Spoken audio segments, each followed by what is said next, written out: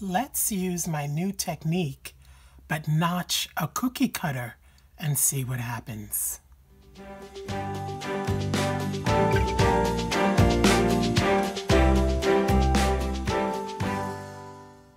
Hi everyone, it's Myriam with a Y. In this series, we've been examining a new technique of mine where we use a cup of some sort, put however many and whatever size notches you like in it, and then use it as a guide for your paint. Let's take a look at how this second experiment dried. We are two for two. This dried perfectly. Not a single crack or craze in the entire thing. And it was pretty darn wet. The metallic did its little breakup but it's less pronounced this time around because I tilted so much of it so that it's a really thin coat. So I think that it looks more like a light blue than that breakup we got in the first experiment. I see the metallic this time around more. It appears more like a frosted coating. I'm hoping I'm capturing that you should be able to see the difference between the purple and what's around it to see the frosting. I'm hoping that shows up. The only thing that I think I'm probably going to want to touch up is the white. The white sank and popped up in weird little spots like this and that. You know, and they're just odd looking. They almost look like mistakes. They don't necessarily add to the image in any way. So I think I would prefer to just sort of take a little dab of purple and paint over that and a little magenta, paint over that, and just make them go away because they're not really adding anything. I think this is going to be a great candidate for resin. I think this will look beautiful resined. So I'm really excited to do that. And I'll do that with you guys so that you can see that process too. All right, well, we are on a roll. Let's see what we can do next. For today's experiment, I'm making six notches in a flower-shaped cookie cutter, and I'm going to pour a dirty cup down the middle. The way that I've done the notches is I made sort of a midpoint. I marked myself the midpoint on each of the petals. Then I made a mark on either side of that midpoint. And then using scissors, I cut up those two outer marks.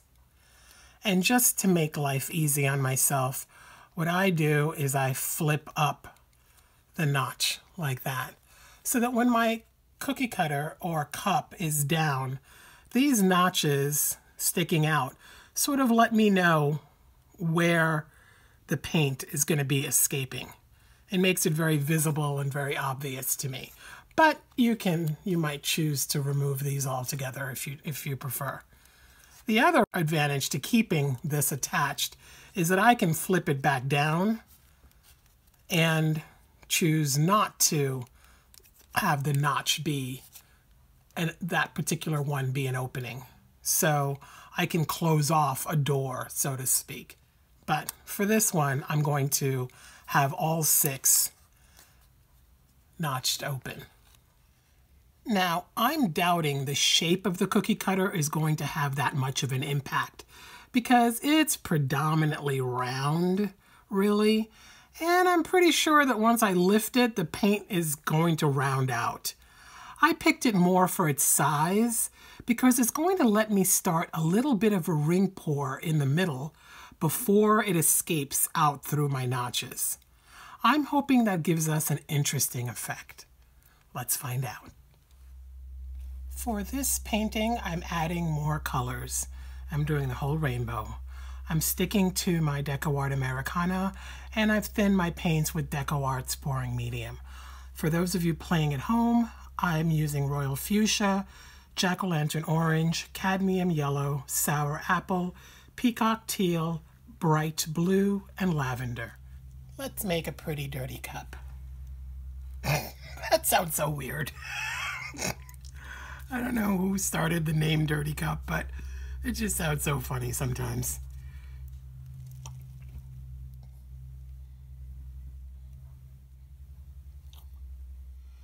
And I'm going to keep doing this until I have two ounces. Okay, our cup is finished. I ended up putting the rainbow in about, I think, three and a half times. Like before, I'm going to put down a coat of white paint. And I do this to help the pour flow.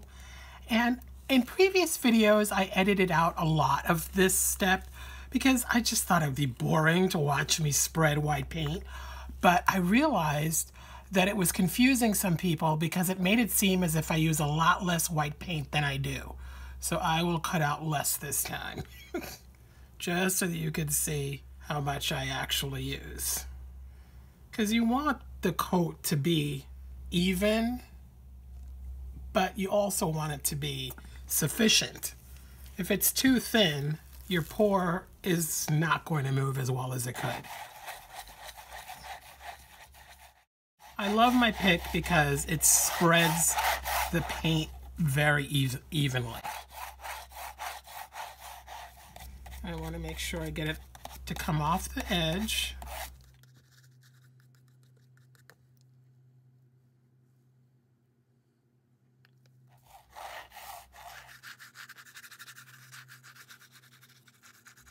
So now I have a good even white coat down and I am ready to start this new pour. Oh my gosh. I'm always a little excited and nervous all at the same time. All right, let's see how centered I can get this. All righty, let's pour this pretty cup.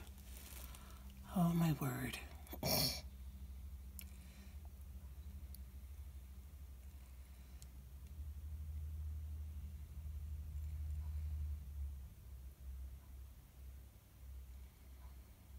I'm just pouring straight down the middle. I'm not doing anything. Not shaking the cup, spinning the cup, anything. I want to make this as simple as possible. It's funny, I only see red, the magenta, the blue, and purple. But I put all seven colors. All right that is everything. I'm going to let it sit there for a while and not touch it for a little bit to see if anything else needs to work its way out, so to speak. Almost don't want to lift the cookie cutter. Don't these look like peacock feathers? It's so pretty. I love what the white is doing here it's sort of spilling over into these shapes, but in a very feathery sort of way. It's really stunning. I'm really letting it sit and move on its own for as long as I can. And what's great about that is it's getting toward the edge without me having to do anything.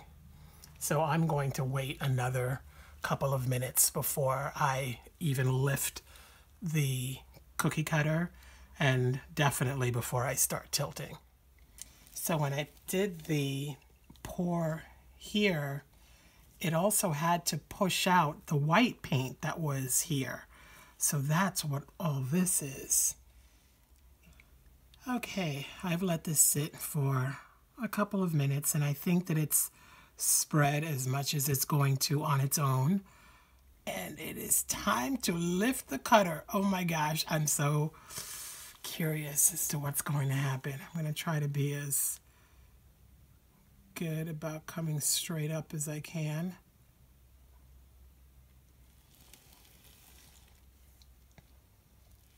How cool is that? Now, in theory, I could just leave this be and let it dry. I think I now have faith in this medium that it can do almost anything and that this amount of paint would dry okay. But I think we got to tilt it and see what happens. Because we know what it looks like now, and I could just stop here and we're done. But let's see what happens if we tilt it. Okay.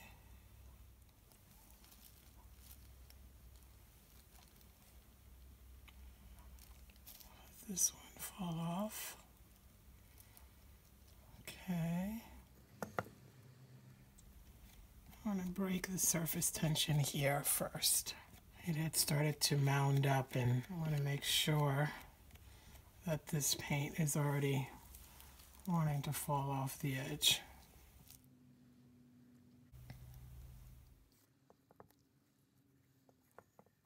Do the same thing over here. So I'm just making sure that the white paint is already falling over the edge so that when the pour hits this area, it doesn't just sit there on the edge afraid to fall over. If it sees that the white paint fell over, it'll be like, oh, okay, it's safe to go there.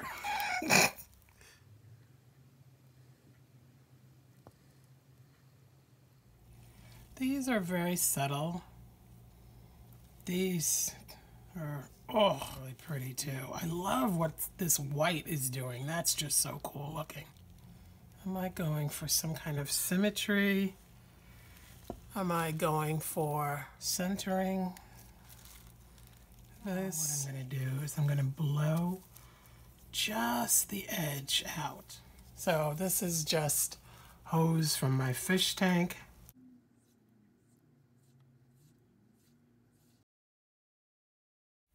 But now these are looking like butterfly wings, which is kind of cool. It's giving a really cool tattered edge, which I like.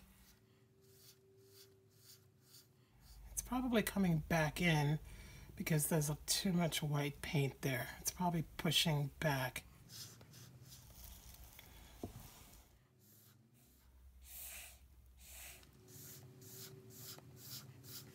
Where I'm at with this right now I like this. I like the edges. I love these little white patches. Love them. Love them, love them. I like this peacocky, feathery looking thing happening here. These two are a little boring. I mean, if you're up close on them, you can see the subtle rings, but I feel like they are kind of like big blotches of color. It's pretty color, but it's just a blotch of color. So I'm going to see what happens, but I want to do it with a wider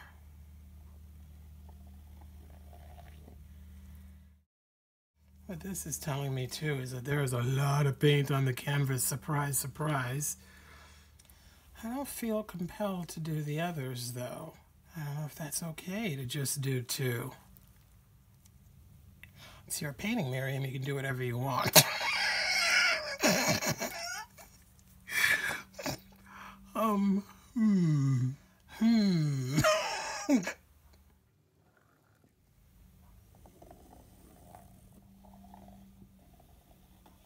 well, I certainly like these.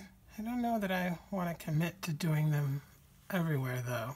Alright, let me just try.